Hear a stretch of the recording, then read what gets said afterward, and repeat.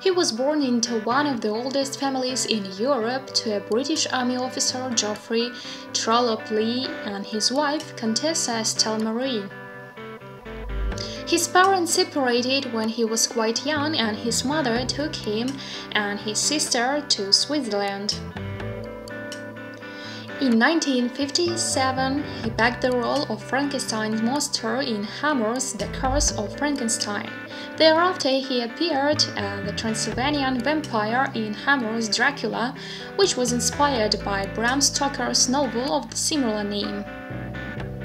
In 1973, he appeared in Richard Lester's Three Musketeers. In the following year, he did The Four Musketeers, Milady's Revenge. In 1989, he reprised his role in The Return of the Musketeers.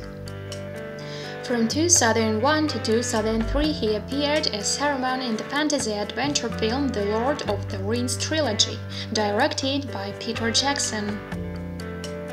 He also appeared as villainous Count Dooku in separate installments of the Star Wars film including Star Wars Episode II Attack of the Clones and Star Wars Episode III Revenge of the Sith.